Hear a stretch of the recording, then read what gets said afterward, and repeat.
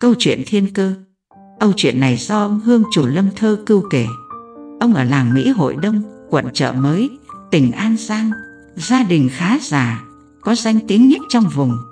Sau khi thọ giáo với Đức Thầy Ông chủ phế hết quyền lợi Thường lui tới tổ đình để nghe Pháp. Khoảng thời gian Đức Thầy bị người Pháp rời Đi từ Châu Đốc đến Sa Đéc, Cần Thơ, nhà thương chợ quán Rồi Bạc Liêu, Sa Gòn Ông chủ cưu đều theo sát bên Đức Thầy Đến đầu mùa xuân năm Ất Dậu 1945 Người Pháp theo dõi ruồng bắt những tín đồ có trách nhiệm trong đạo ở các địa phương Cho nên các vị ấy cũng như ông chủ cưu đều lên ở chung với Đức Thầy tại văn phòng Sài Gòn. Sáng hôm nọ, mọi người đều ở tầng dưới chỉ một mình Đức Thầy và ông chủ cưu ở trên lầu. Trong câu chuyện vui vẻ, ông chủ mới nói, rồi đây tôi sẽ kiện Đức Thầy cho mà coi. Đức Thầy liền cười và hỏi, tại sao ông chủ kiện tôi? Ông chủ nói, tôi vì nghe lời Thầy mà gia đình và sự nghiệp đều bỏ hết, tới trước cai tổng mới đây tôi cũng bỏ luôn, không ra tranh cử. Đức Thầy liền nói, Ông chủ kiện tôi tới dê cô hay dê la chê gì đây và kiện bởi nghe lời lý do gì mới được chớ. Ông chủ nói, tôi kiện thầy lên tới Đức Ngọc Hoàng vì thầy nói, đến thân dậu thánh thần áo động, thảm cho trần nhà trống ruộng hoang, mà tới bây giờ chưa có chuyện gì xảy ra hết. Nói tới đây, bỗng có ông Hương Hào phỉ dưới lầu đi lên. Đức thầy nhìn sang ông phỉ vừa cười vừa nói, Hương Hào nghĩ coi, tôi mở đạo để khuyên người ta tu hành mà có người đòi kiện tôi đây nè.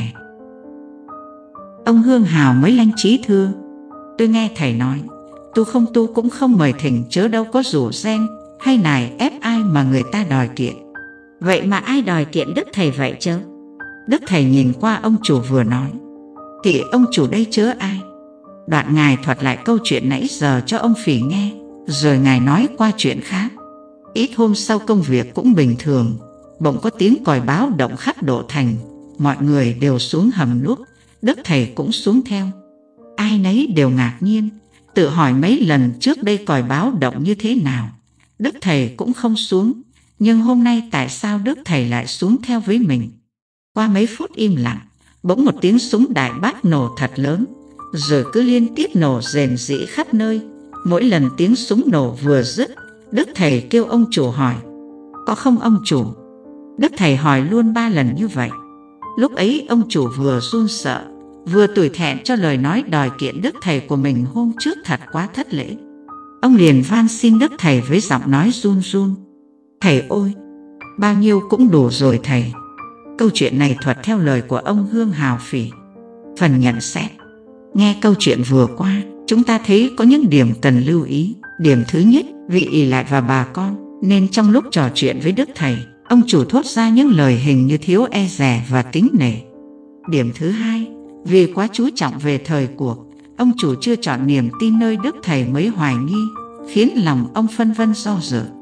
Nhớ mình đã bỏ nhiều cơ hội tốt cho gia đình và sự nghiệp. Nên ông mới có những lời nghe như thống trách và tiếc uổng. Đức Thầy rất biết rõ tâm niệm của tín đồ, song vì thiên cơ bất khả lậu nên Ngài chỉ hé mở đôi chút cho mọi người tự tìm hiểu. Do đó, trước lời thống trách của ông chủ, Ngài chỉ nói nửa đùa nửa thật vậy thôi. Điểm thứ ba, bởi biết trước mọi việc sắp xảy ra, nên khi còi báo động Đức Thầy theo mọi người xuống hầm nút mà từ trước tới giờ Ngài chưa bao giờ xuống. Ấy là Ngài biết đã đến lúc cần giác tình ông chủ cưu. Riêng về ông chủ, khi nghe tiếng súng nổ rang rền và liên tiếp khiến ông khiếp sợ nhưng lúc nghe Đức Thầy hỏi có không ông chủ thì ông rất ăn năn cho lời nói.